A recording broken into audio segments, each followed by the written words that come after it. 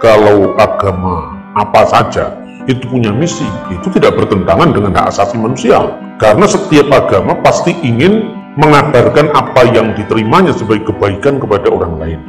Artinya kalau kamu mendapatkan sesuatu yang berharga, jangan untuk dirimu sendiri tapi ajak-ajaklah orang lain. Dan mengajak kan nggak salah. Bahwa orang kemudian tidak mau ya itu urusannya dia. Islam juga mengenal yang namanya berdakwah. Berdakwah itu artinya menegur orang, mengajak orang dalam kebenaran dan saling mengingatkan dengan hikmat kira-kira seperti itu. Maka ada ungkapan sampaikanlah walaupun satu ayat. Itu di Islam. Di Kristen juga ada ungkapan dari Rasul Paulus, celakalah saya kalau saya tidak memberitakan Injil. Jadi tetapi rule of game-nya, jadi aturan mainnya harus jelas. Ya, tapi dulu kan pernah ya, ketika terjadi gesekan-gesekan karena kecurigaan yang dibangun berdasarkan e, cara pandang kita yang mungkin belum clear terhadap orang lain. Itu pernah zamannya Pak Harto. Jangan mengagamakan orang yang sudah beragama dulu kan begitu kan. Dan itu ditolak oleh Pak Simatupang, Pak TV Simatupang yang waktu itu sebagai salah satu dari tua Dewan Gereja Sedunia. Tapi dia juga seorang yang menempuh karir militer yang sangat gemilang. Pak Sim itu mengatakan, mengutip ayat tadi, bahwa orang Kristen itu celaka kalau tidak memberitakan Injil. Lalu banyak teolog-teolog Kristen maupun ahli-ahli ilmu perbandingan agama yang kemudian menelaah apa ada orang yang belum beragama sebetulnya. Setiap ada getar kesadaran bahwa Tuhan itu ada itu beragama. Tapi beragama menurut definisi bukan uh, the world religion agama dunia tapi folk religion agama lokal orang kebatinan itu agama hanya bukan agama dalam pengertian agama universal ini karena penganutnya tidak mendunia Islam, Kristen, Hindu, Buddha kan mendunia tapi orang orang kebatinan itu kan sudah ada sebelum agama masuk Indonesia. Jauh sebelum munculnya agama Hindu, agama Buddha. Orang-orang di negeri Nusantara ini sudah punya keyakinan tentang the supreme being yang dikenal dengan yang. Makanya ada kata sembah yang, menyembah Tuhan. Yang itu Tuhan artinya. Maka ketika munculnya agama Hindu, Buddha datang ke Indonesia, welcome Sugeng Rawu semua, diterima. Ramah memang Ibu Pertiwi ini. Lalu pada zaman kerajaan Sunda itu diatur dengan hierarki yang sangat bagus. Maka ada ungkapan ketika Hindu Buddha datang ke Indonesia, Hindu diterima, maka dikasih salam, Ongkara Nama Siwa. Ketika Buddha datang, Buddha diberi salam, sembah ring bulun risang panca tata gata. Diterima, semuanya itu untuk kebaikan semua.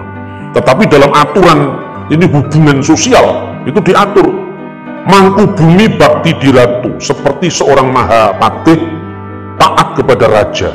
Ratu bakti di dewata, raja berbakti pada dewata, pada agamanya. Dewata bakti di yang. Dan di atas ini kalau saya tafsirkan dalam bahasa sekarang, di atas ketaatan kita kepada agama kita masing-masing, kita harus sadar dengan prinsip ketuhanan. Karena orang lain juga punya ketaatan pada agamanya masing-masing.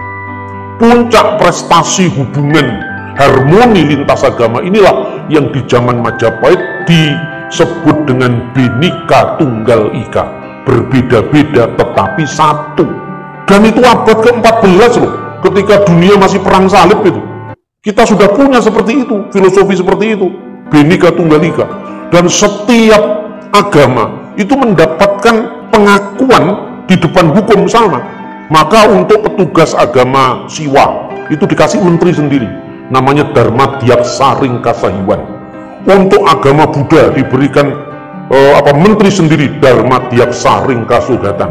Untuk agama-agama kecil yang penganutnya banyak tapi tidak seperti Hindu dan Buddha dinamakan Karsian, para resi di pertapaan-pertapaan. Lalu dijamin oleh undang-undang tidak boleh ada perusakan tempat ibadah. Ini tahun 1400-an ini dalam undang-undang namanya Adigama di zaman kerajaan Majapahit yang diundangkan setelah zaman Raja Hayam Wuruk. Makanya di dalam pasal 55 Undang-Undang Agama ini, ini cerita tentang Nusantara kita dulu ini, ya kan? Karena orang banyak lupa dengan kehebatan kita sebagai bangsa, kita malah belajar ke Afghanistan malah. Ya toh? Itu jelas sekali. Muah wong kang angrusak candi, prasada, sapasiman, kabuyutan, pada lawan merusak bumi. Orang yang merusakkan candi, kadarman, itu tempat agama Buddha, buyutan, tempat para pertapa, ya, sama dengan merusak seluruh bumi. Barang siapa merusak candi, dharma, dharma itu tempat agama Buddha, pertapaan sama dengan merusak seluruh bumi karena apa? Ketika Anda merusak rumah saya, korban yang menjadi korban saya, istri dan anak-anak saya, keluarga saya. Tapi kalau Anda merusak gereja ini, seluruh jemaat ini tidak bisa beribadah. Semua orang Kristen hatinya terluka ketika kita diganggu, ketika masjid kemudian dirusak.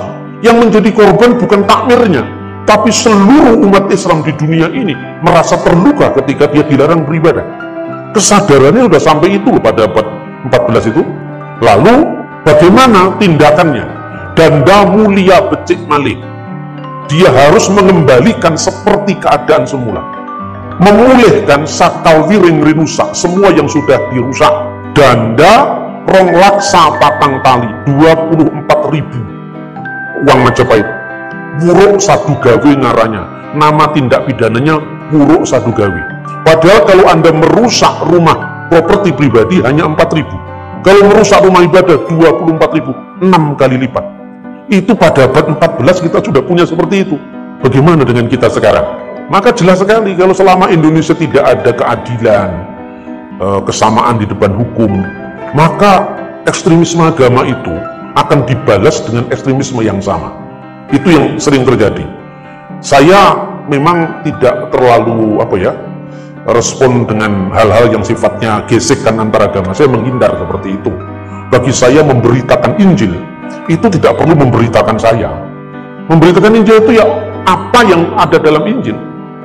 Saya menjaga agar tidak terjadi gesekan-gesekan. Maka sedemikian rupa kalau intinya Yesus, ya Yesus, sudah saya sampaikan. Kenapa kita harus mengurusi orang lain yang seperti itu? Islam pun juga seperti itu. Boleh orang mengabarkan agamanya. Hindu, Buddha juga seperti itu. Jadi berdakwah, misi, evangelisasi itu mengajak kepada kebaikan. Dan itu dijamin paling asasi dalam bahasa asasi manusia. Makanya Pak Sin mengatakan siapa yang disebut orang belum beragama? Setiap getar kesadaran bahwa adanya Tuhan lalu dia berbuat yang baik itu agama. Dan itu bertentangan dengan ilmu agama-agama di mana setiap getar kesadaran itu orang bertuhan itu beragama. Yang kedua, bertentangan dengan agama itu sendiri. Karena dalam Islam juga disuruh berdakwah. Nabi Muhammad, Nabi umat Islam, itu mengirimi surat kepada penguasa-penguasa Kristen untuk menjadi Islam. Begitu juga Paulus itu sampai ke Eropa sana, Petrus sampai di Antioquia, Markus sampai di Alexandria untuk mengabarkan kabar baik dan resikonya dibayar dengan nyawa. Banyak rasul-rasul mati sebagai martir, tetapi dia bayar harga untuk itu. Jadi kalau kita dilarang untuk melakukan tugas misi atau tugas dakwah dalam agama Islam, itu bertentangan dengan iman dan bertentangan dengan ilmu. Tetapi cara mainnya harus diatur. Hindari kata-kata penghinaan verbal terhadap pihak lain. Karena kekerasan itu bukan sekedar kekerasan fisik. Kekerasan kata-kata itu kalau diulang-ulang-ulang-ulang menimbulkan keberingasan yang tega menghabisi orang lain. Itu yang harus dijaga. Jadi misalnya, ideologi keras. Sekalipun mungkin bomnya tidak dibuat di satu kota di mana tokoh yang sangat didengar itu hidup. Bomnya bisa dirakit di tempat lain. Tetapi kenapa ada perakitan bom? Karena ada kekerasan verbal yang terus disampaikan lewat medsos, lewat ceramah-ceramah uh, keagamaan itu yang harus dikikis oleh negara. Itu saya kira.